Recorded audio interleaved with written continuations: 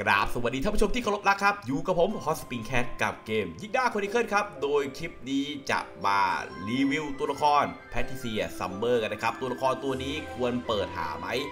มีการใช้งานใน content อะไรบ้างนะครับนะ โดยคลิปนี้ก็จะมาสรุปง่ายๆเลยนะครับ โดยอย่างแรกครับตัวละครตัวนี้เป็นตัวละคร limited นะครับนะมาในซีรีส์ของ ฤดูร้อนนะครับผมนะก็ต้องบอกเลยว่าถ้าเกิดใครพลาดไปครับผมก็อดนะครับผมจนกว่าจะรอในส่วนของกิจกรรม rerun นะครับนะดังนั้นถ้าเกิดใครสนใจในส่วนของการเป็นตัวละคร limited ครับตัวละครตัวนี้ก็ถือว่า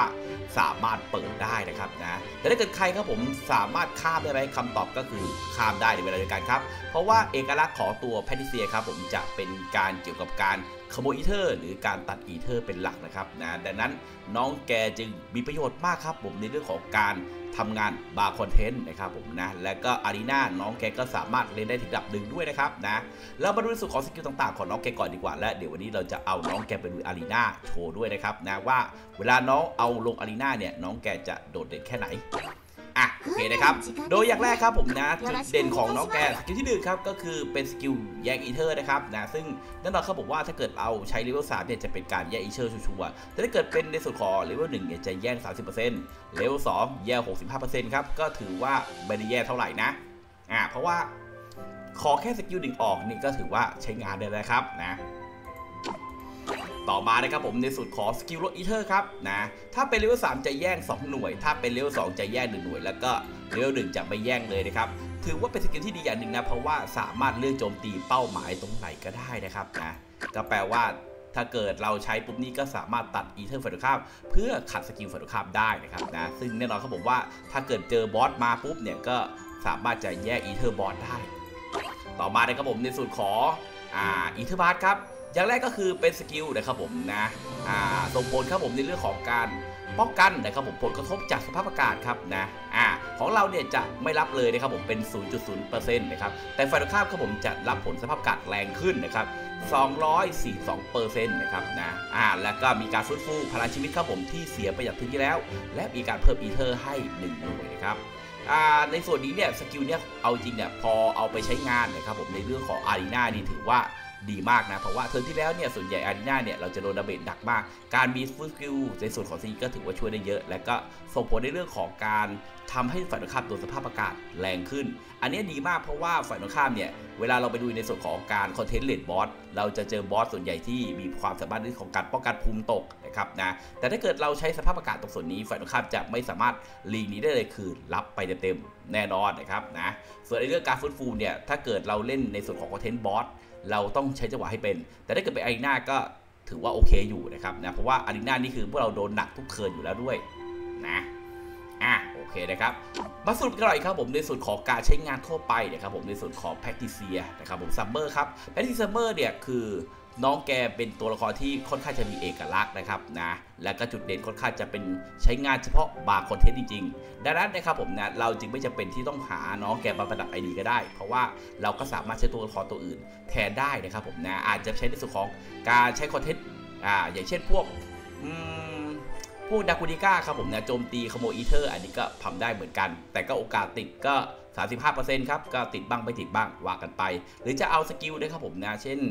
การใช้นะครับผมนะอ้อผมลืมพูดในส่วนของ ability ติดตัวของน้องแกนะครับ เมื่อมีการใช้ active skill นะครับผมนะ จะทำการสุ่มปลด buff ฝ่ายตรงข้ามนะครับนะ และทำการล้าง debuff ฝ่ายเรานะครับซึ่งไอ้เรื่องการปลด buff ฝ่ายตรงข้ามเนี่ย ฝั่งของเราก็จะมีพวกตัวของอาร์บิทครับผมนะ ก็สามารถใช้แทนได้เหมือนกัน นะดังนั้นตัวของน้องแกก็ถือว่าเป็นตัวละครที่เก่งและก็น่าสนใจดีนะ แต่ก็ไม่จำเป็นต้องมีติดตัวก็ได้ถ้าเกิดใครไม่อวยนะครับผมหรือเพชรไม่พอก็สามารถข้ามได้นะครับนะ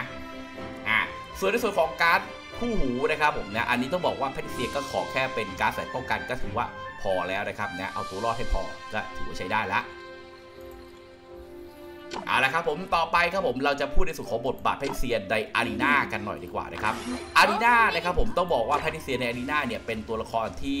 ไม่ค่อยจะออก skill นะครับนะซึ่งก็ต้องบอกเลยว่าเป็นทั้งข้อดีข้อเสียในเวลาเดียวกัน อย่างที่บอกไปครับเนื่องจากน้องแกไม่ค่อยออก skill ขึ้นมา มันก็เลยทำให้ skill ของคนอื่นเนี่ยไปใช้งานแทนได้นะครับนะอะเดี๋ยวผมจะรอให้ดูนะครับ อันนี้ในส่วนของทีมที่ผมใช้นะก็จะเป็นตัวของแพทริเซียนะครับผมนะแล้วก็มีในส่วนของตัว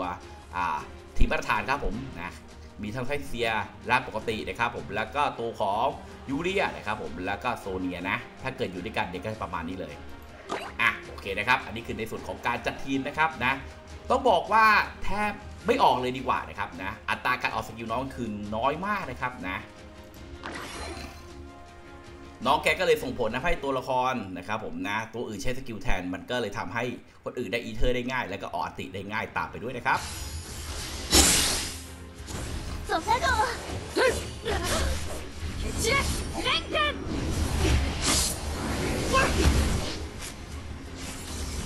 暗殺すソファ号 อันนี้เป็นเสียนิเวลสองเลยครับผมแทบไม่ออกสกิลเลยนะ และพอไม่ออกสกิลขึ้นมาปุ๊บทุกอย่างมันก็ไปลงที่ตัวของโซเนียเป็นหลักนะครับนะนะครับกลายเป็นว่าโซเนียออกสกิลง่ายขึ้นนะครับนะทุกอย่างก็เลยสวยนะครับนะ いいわ เธอเก่งเพราะว่าเธอไม่ออก skill นะครับนะ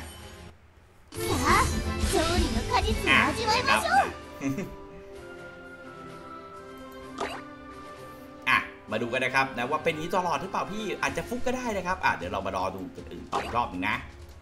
เรามารอดูอีกรอบนึงนะครับ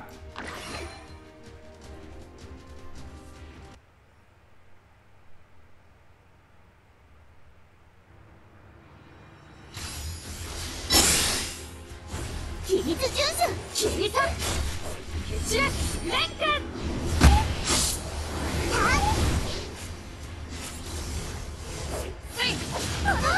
黒ぐい一刀両断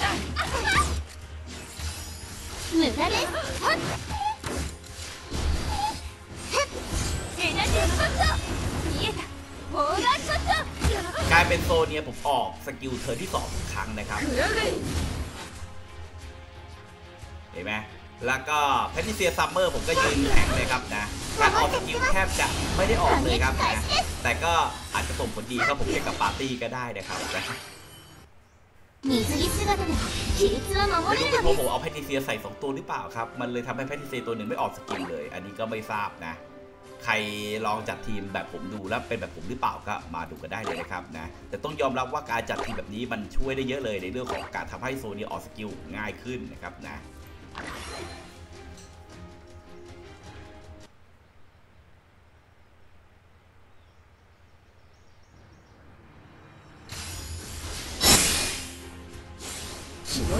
無駄な蹴散れ連剣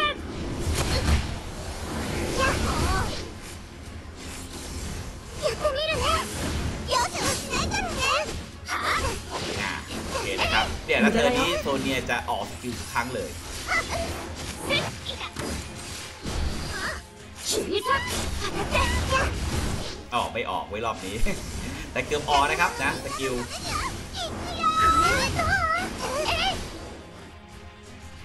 เธอนี้ก็น่าจะออกหัวแล้วครับนะ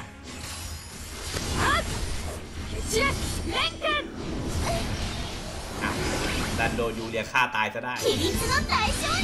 อะก็ประมาณนี้ก็แล้วกันนะครับนะในส่วนของการเอาแพทริเซียซัมเมอร์ครับผมไปลง arena นะ น้องแกก็มีข้อดีตรงที่ น้องแกยืนเฉยเลยครับนะ มันก็เลยทำให้ skill ของคนอื่นออกไปทำงานแทน ถ้าเกิดเรามีตัวละครนะครับผมที่อยากให้ออก skill ง่ายๆน้องแกก็ช่วยได้ดีในเรื่องนี้เหมือนกันนะครับนะโอเค ก็ขอบคุณครับที่รับฟังกันจนจบนะหากชอบคลิปนี้ฝากกดไลค์กดไลค์ฝากกดติดตามเป็นกำลังใจแก่ช่องเราด้วยนะครับ พบกันใหม่คลิปต่อไป